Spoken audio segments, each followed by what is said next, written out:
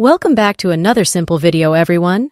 In this video, we're going to show you how you can fix the issue where one AirPod is louder than the other one. This can happen quite frequently, and it can be pretty frustrating, so I will show you four different solutions for this problem. Make sure that you watch this video until the end, because if one solution doesn't work for you, the other ones definitely will. So without wasting your time, let's start right away. The first thing that you can do is to first identify which AirPod causes the problem.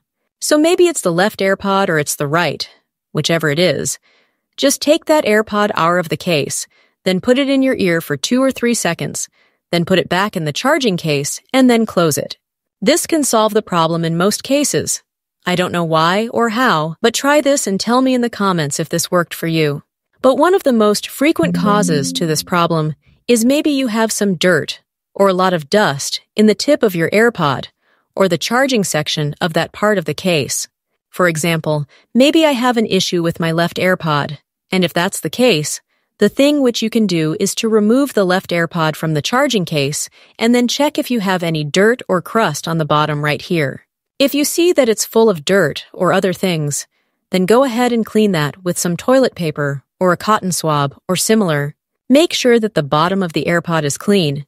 And when you do that, make sure that the charging part of that AirPod, in this case it's the left side, is also clean. You may have some dirt in there as well, which can cause charging issues. If the AirPod doesn't get an equal charge and battery like the other AirPod, then it may cause the problem where one AirPod is quieter than the other one. So make sure that the charging portion of the case is also clean, so get your cotton swab and clean it thoroughly. Another thing which you can do is to check if your AirPods have an update for them. So simply updating your AirPods firmware to the latest version can fix bugs and other issues that you may have. And maybe the problem with them was something that's not physical, but it was a software issue. You can go over to YouTube and see a bunch of different tutorials on how you can update your AirPods, and I'll make sure to leave a video link in the description so you can check the tutorial from there. Another thing that you can do, as long as it's not a hardware issue, meaning that you don't have any physical damage to your AirPods or charging case, like getting water damage or something similar, then you can disconnect your AirPods and then reconnect them one more time. You can easily disconnect them by opening the settings on your device, then open the Bluetooth section, find your connected AirPods in here, and then we'll open the settings by tapping on this little eye icon next to them. That's going to open this page with some AirPods options. And what you want to do is to scroll all the way down to the bottom until you find the Forget This Device option. So you want to click on this option, which will disconnect you from the iPhone completely.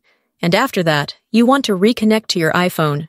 In order to reconnect to your phone, you want to put your AirPods back in the case and then close the lid.